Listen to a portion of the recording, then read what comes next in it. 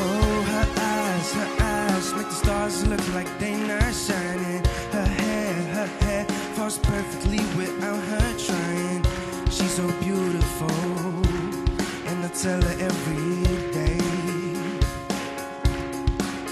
Yeah, and I know, I know when I compliment her, she won't believe so, it's so sad to think that she don't see what I see. But every time she asks me, do I look okay? I say, when I see your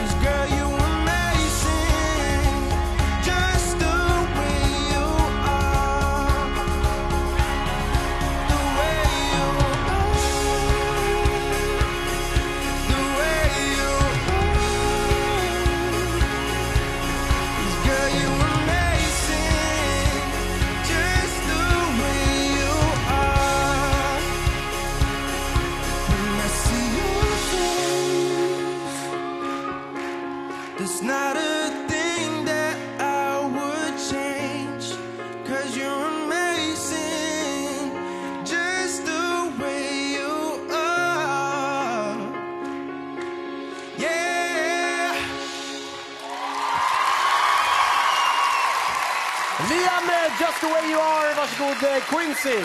Ja, det var jättefint alltså. När du verkligen sjöng ut på den här låten så kändes det som din röst har blivit större, ännu större.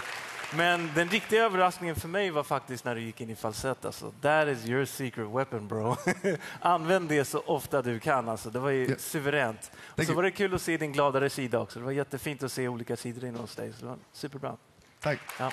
Ja, Liam, man är aldrig orolig för dig vokalt. För alltså, din, eh, din röst, klangen, tonen, den är ju fantastiskt fin. Och jag uppskattar verkligen att du tog till dig den här utmaningen. Att du själv säger att det är lite knepigare för dig. Men alltså ditt smile, att du liksom connectar med fansen, det är underbart. Grymt. Man blir så stolt. De är så duktiga killar. Vad är det för utmaningar vi har? Amen! Nej, men alltså, jag tror definitivt på att man ska visa upp sina mörka sidor som artist. Det är ju jätteviktigt. Men om man har ett sånt där million dollar smile som du har, då får man inte knussla med det tycker jag. För, ja, för det jag tycker att det du gjorde här idag, det var faktiskt en riktig fullträff. Och jag hoppas, hoppas att i framtiden att du tänker på att den här sortens låtar, den här sortens material, det är någonting som verkligen tar fram fina sidor hos dig. Mer falsett. Tack så mycket.